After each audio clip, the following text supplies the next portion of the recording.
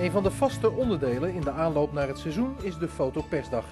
Het moment voor de fotografen om de elftal foto's en de portretten te maken. Voor sommige spelers is het de eerste keer. Anderen zijn inmiddels de tel kwijtgeraakt. Oh, dat weet ik niet. Een heleboel. Nou, dit- ja, je moet er even tijd in steken. En het, het is niet het leukste, want je kleed je om eh, en, en dan weer een foto en dan weer daar naartoe, daar naartoe.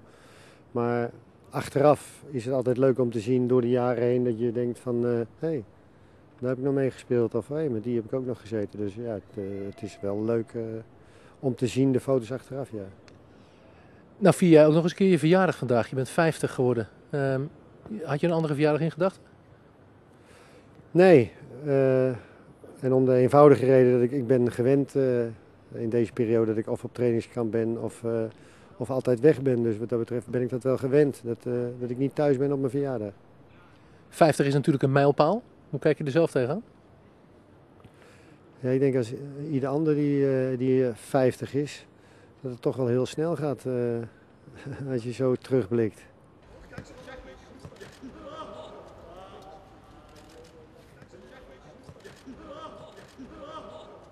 Jouw eerste fotoshoot eh, voor het eerste van FC Utrecht, hoe is dat?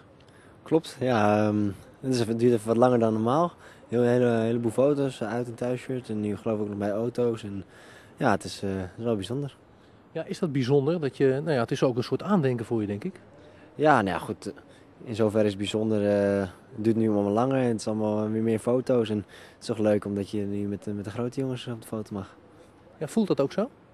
Nou ja, ik voel me nu principe gewoon volwaardig A-selectielid. Dus grote jongens is misschien niet wat overdreven. Maar ja, het is leuk om met de eerste helft van FC Utrecht eh, op de foto te staan.